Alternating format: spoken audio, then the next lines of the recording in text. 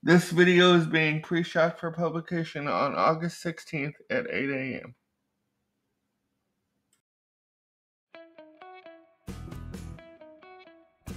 Good morning, everybody. We're going to do a special video today. We're going to go ahead and continue the classic album review, classic albums review series with our look at the Elvis Presley episode of classic albums today. This um, episode was released to DVD on in 2001, and it is basically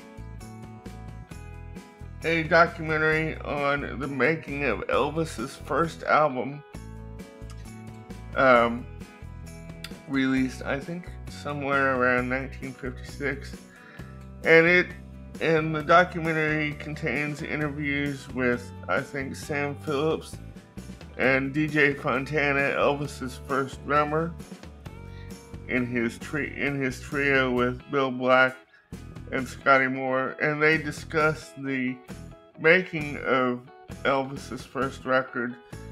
Uh, some of the songs that are featured, that are highlighted, are a couple, or one of my favorites, "Trying to Get to You," and you also get to hear. Um, some of the early outtakes from, you know, some of the sessions from the um, from the um, recording of Elvis, Elvis's first record, and um,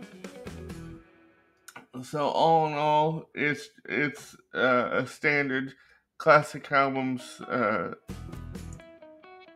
you know, documentary, and. Uh, one of the uh, one of the um, contributors to this documentary is author, author Peter Guralnick, who wrote, in my mind, uh, two of the best books on Elvis, and um, and uh, and so you should check those out.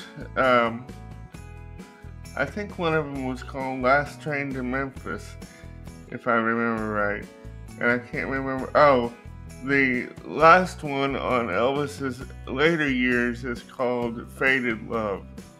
And the first one uh, on Elvis's early years is called Last Train to Memphis. And anyway, he is featured. Um, Peter Guralnick is featured in the documentary talking about uh, th- this time period in which Elvis recorded his first record.